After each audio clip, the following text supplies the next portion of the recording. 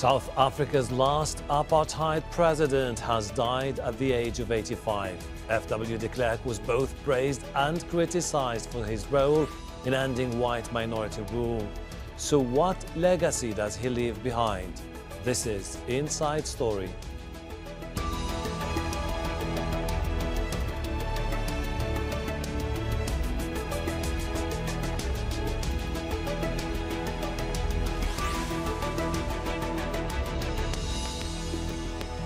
Hello, welcome to the program. I'm Hashem Ahelbarra.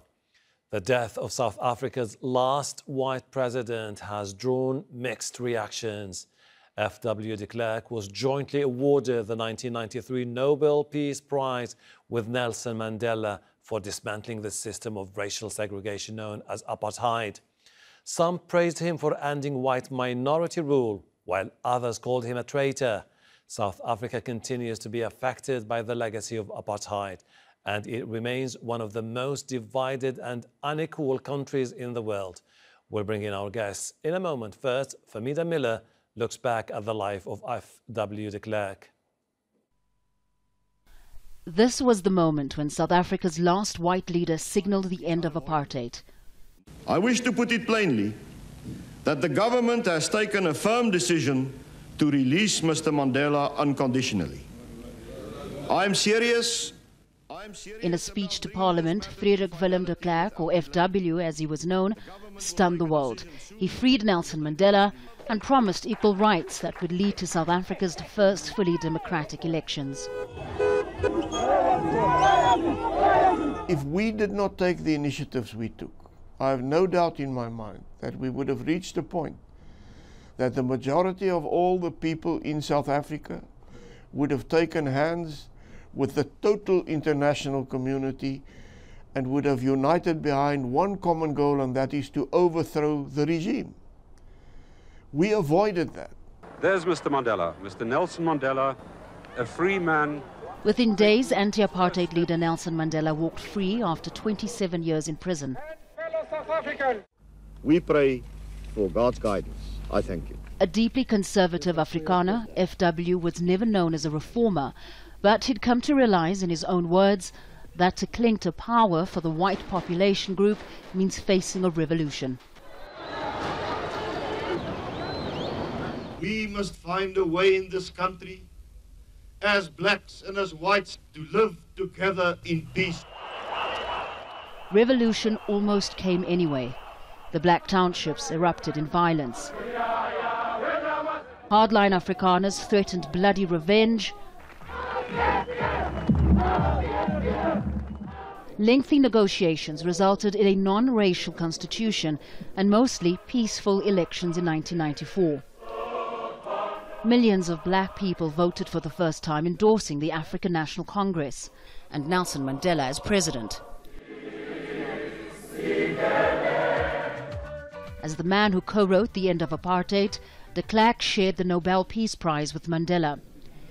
He later chaired the Global Leadership Fund, promoting good governance worldwide. To many within the ranks of his Afrikaner people, FW was a traitor to the end. History will remember a leader who knew that white supremacy had run its course. F.W. de Klerk recorded a message just before his death. He apologized to those who felt he hadn't accepted responsibility for the damage caused by racial segregation. Let me today, in this last message, repeat I, without qualification, apologize for the pain and the hurt and the indignity and the damage that apartheid has done to black, brown, and Indians in South Africa. President Cyril Ramaphosa says de Klerk helped put South Africa on the path to democracy. He was a leader of a, a party that was largely discredited in relation to the role that the National Party played in enforcing apartheid. But he had the courage to step away from the path that his party that he led had embarked upon.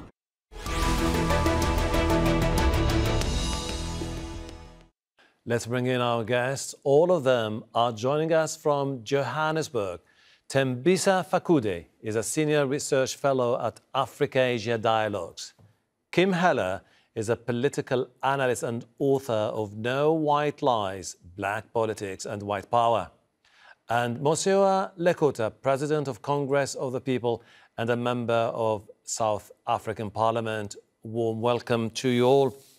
Thembisa, why is it that people in South Africa continue to be divided about the legacy of de Klerk? Well, former President de Klerk has been a divisive figure for the fact that he was the leader of the National Party, which was an Afrikaner dominated political party. It was inevitable that he, at his death, he will court um, a divided opinion.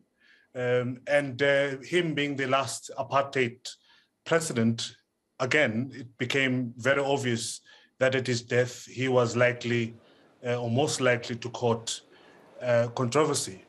But importantly, is that the majority of South Africans lived through very difficult times during apartheid, and it was part and parcel of that, unfortunately. Mm-hmm.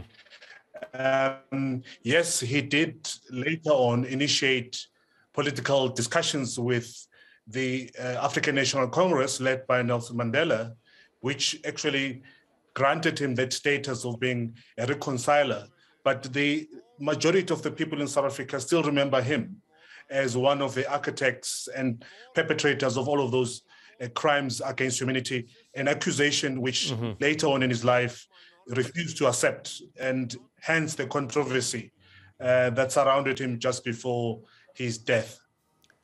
Kim, frail and sick, he made that statement at the end of his life saying that I apologize to those who felt that I didn't come about in the most in the strongest possible terms to denounce what happened in the past, but the general sentiment remains the same. De Klerk missed an opportunity to denounce apartheid. Yes, thank you. And I think F.W. de Klerk, I'm very distressed at how the media is covering the death of this man, because he was certainly no hero. He was a ruthless murderer that of, of a, an apartheid regime that shattered the lives of millions of, of black South Africans. And he had multiple opportunities to apologize, and he never took accountability.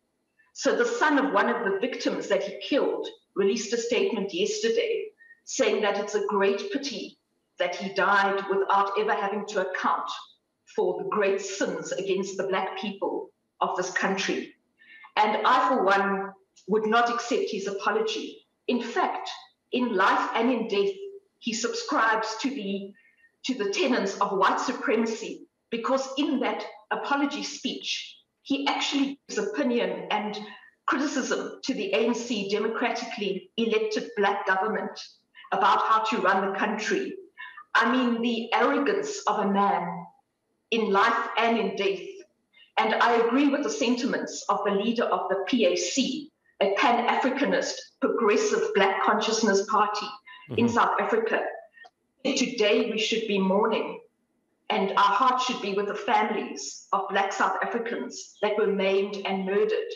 That this man should not even be buried on South African soil. He should be put out in the water, but not the African seas. And mm-hmm. that is a sentiment that is shared by millions of black families who still do not know today mm-hmm. where the remains of their, their children, their brothers, their fathers, and mothers have been buried as a direct result mm-hmm. of FW and his.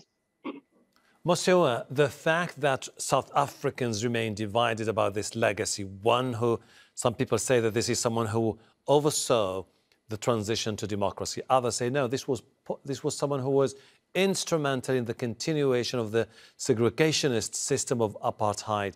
What does it tell about South Africa? Does it say anything about the fact that the wounds of the past still remain there in your country?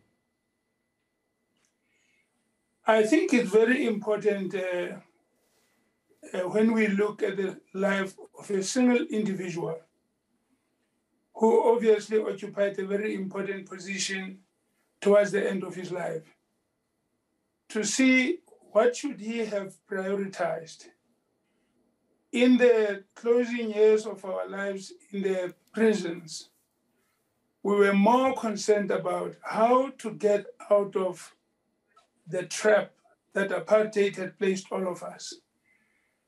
Many people had already lost their lives along the road we traveled, but there was also a huge risk that if we didn't manage the transition out of apartheid, we could also contribute to the deaths of 1000000s Mm-hmm.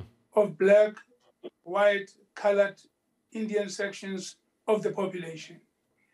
So the choice we had to make was to manage the transition such that we save as many lives as was possible and save a- an opportunity that could make it possible for us Mm-hmm. to reconstruct reconstruct South African society and enable us to join the community of nations in a manner that would forever uh, be a decoration rather than Okay. a disaster for all of us. Thembisa. And I think we did. Okay, I see your point. Thembisa. This, this, this, this argument that at least that transition saved us from a descent into anarchy and a civil war, should it be seen as a credit for someone like F.W. de Klerk? Not entirely, but suffice to say that he was much more braver than many of his predecessors. He took a much more difficult decision, uh, Mhm. whether he was coerced to do so because of the ANC or not, but he did take the decision.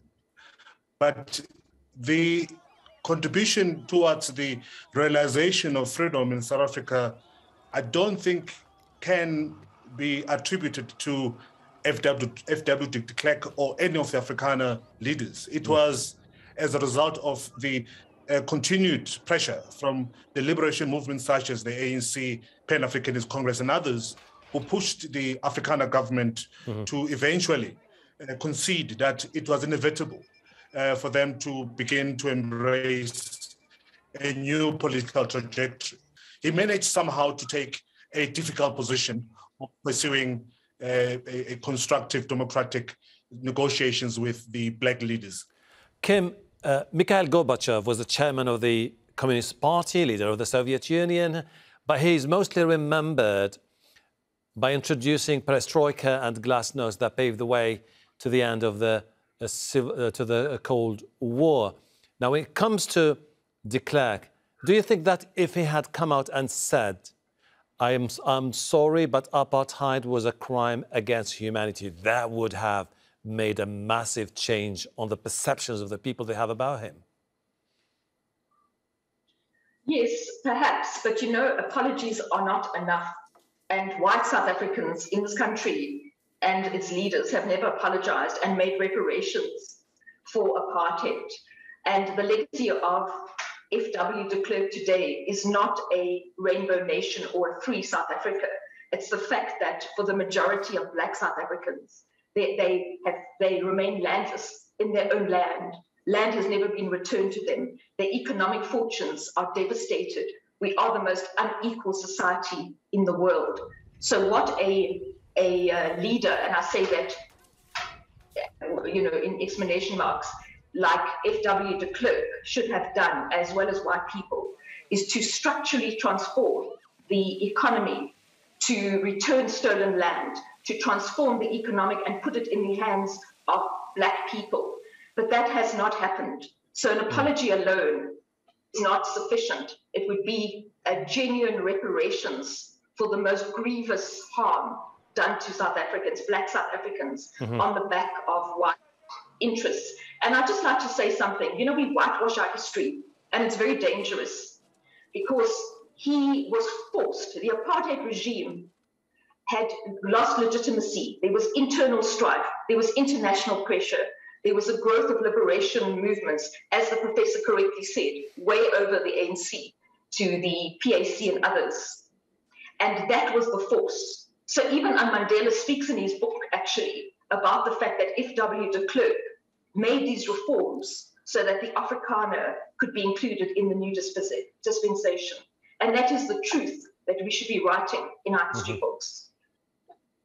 Mosiuoa, what does his passing mean for the future of South Africa? Is it likely to further raise the debate about how to move forward and turn the chapter of the years of apartheid?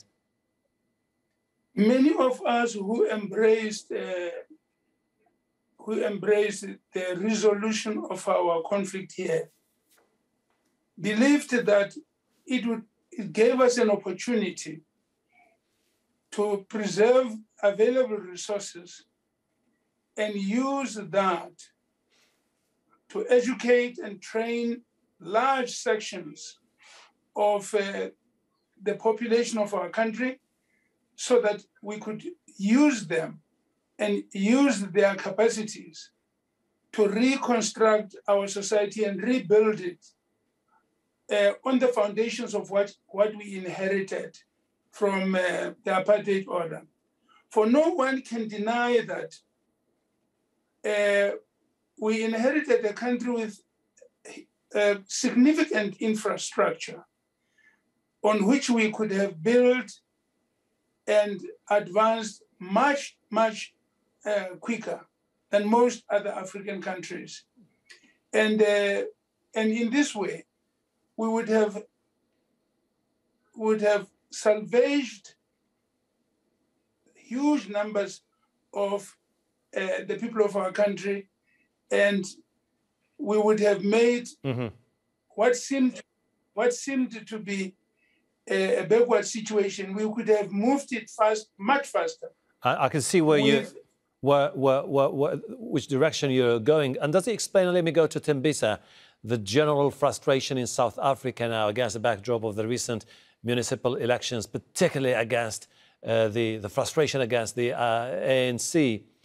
Does it, does it give us any indication about the tough time, times ahead for a country like South Africa? Well, it does uh, give indication of tough times ahead, but it also presents a, another um, impression, which is that the South African democracy is maturing. People now do see alternatives in terms of their political choices, mm-hmm. and it was demonstrated during this time around that most people, although most decided to stay away from from elections, but it is a maturing democracy. Uh, the fact that the ANC is losing a majority in terms of uh, control and governing certain municipalities, that in itself is, is a positive, I guess, mm-hmm. in, in, from an African uh, standpoint, that you're going to have this peaceful transitioning into a new political outlook uh, by the majority of the people in South Africa. But I, mm. I, I wanna I want to comment on the, the point that was made uh, about F.W. de Klerk mm-hmm. and him being the, the, the person who ushered in democracy. We have to give him that credit. He actually assisted. Mandela said the same, him Although that you might, that you... this was the man who took a very unpopular decision Although you might have those who would argue, on the other hand, that there were some shortfalls to the pro progression towards uh, democracy and that the reconciliation was not completed and that a lot had to be done to try to take the country into a new direction. Kim, now you have the passing of de Klerk, you have the major setback that the ANC suffered, and you have the Africa, South Africans who would say, our hope was to see a vibrant democracy that could translate into positive outcome for the South Africans. What we're seeing instead is a pervasive culture of corruption among the elite, particularly within the ANC, leaving many people to grapple about how to move forward. Yes, I mean, the corruption is a problem, but it's also not, it shouldn't be painted as a black government thing. Actually, if we look at the corruption done by white business and white governments before 1994, it was grand corruption. I mean, even the act of land theft in this country was probably the greatest act of corruption in this country. That said, I think the ANC has lost the plot, and mm-hmm. the voters are realizing that. And I think the, the problem is more to do with the fact, with the national consciousness, because the national consciousness is that we must be a reconciled nation and we must accommodate white interests and black interests. And mm-hmm. that all that is reconciling black people with their poverty and white people with their privilege. Mm-hmm. there's a new national consciousness, which is an ideology that the ANC does not have, but perhaps parties to the left with black consciousness do, that there has to be an economy that serves the black child first and puts the dignity of the black child first. We are going to be stuck in the most unequal society in the world forever. So the time for South Africa now is to face the inconvenient truth that there was no real transformation. Mm-hmm. There might have been a shift of political dynamics, but for the majority of people, the constitution has not helped them. They mm-hmm. live jobless, landless, and in deep poverty. Mosiuoa, if you look at the outcome of the latest uh, uh, municipal elections, you will see that ANC was not the only one to suffer a setback. The Democratic Alliance itself failed to gain momentum. What is quite interesting is that the EFF, the Economic Freedom Fighters, or the Action SA are gaining momentum, which could give you an indication that South Africa is moving towards what could be turning also the chapter of the ANC itself. Uh, look, the, the, unfortunate thing is that uh, the new circumstances that have arisen in our country do not favor any particular party. It's actually hitting at all of us that we we should have when we should have rallied together and take full advantage of the opportunity of um, using resources to the benefit of all of us. We still did try to have sections that want to get this for themselves, section that want that for themselves. And this continued division of South African society on the basis of what happened in the past is not to our advantage. What is to our advantage mm-hmm. Is if we can pull ourselves together and say, look, now it's an opportunity for equality. Let's give everybody and the same and equal opportunity. Speaking about and then, equality, and let me go to Thembisa. Thembisa, you said that this is a, an indication that the country is maturing, that democracy is maturing in South Africa. But do you think that South Africa is ready for the concept of a government, of uh, a coalition government? Well, at the national level, I'm not quite sure whether they'll be ready, but at the municipal level, they've already started negotiation, not only in this election, but in a previous election. So they are ready for that. But for me, what's encouraging is the willingness of the bigger parties to accept defeat and to accept that they have to enter into negotiations with smaller parties. But I, I, I like to disagree with you, Hashem, when you said that the Action SA and EFF are showing uh, that they're moving much more stronger than other mm. parties. I don't think so. EFF has not been given a clear mandate by anyone to run a municipality. Perhaps we can say that about SA because they're new kids in the block and they've managed to garner a number of uh, of votes. But I'm not quite sure whether the EFF uh, is growing and that there is a flavor uh, towards uh, EFF. The ANC remains a very strong party, but for me, the polarization within the political space in South Africa is quite encouraging. I know a lot of people mm-hmm. are kind of disgruntled by what's going on, but I think for an African country to have such a, mm-hmm. a vibrant uh, democracy and a vibrant competition of political power is quite encouraging. Lady and gentlemen, I really appreciate your time. Unfortunately, we're running out of time, but I promise you next time we will be able to have another episode to talk about uh, South Africa and its future. Thembisa, Fakude, Kim Heller, and Mosiuoa Gerald Patrick Lekota, I really appreciate your insight. And thank you too for watching. You can see the program again anytime by visiting our website, aljazeera.com for further discussion. Go to our Facebook page, that's facebook.com forward slash AJ Inside Story. You can also join the conversation on Twitter. Our handle is at AJ Inside Story. From me, Hashem Ahelbarra, and the entire team here in Doha. Bye for now.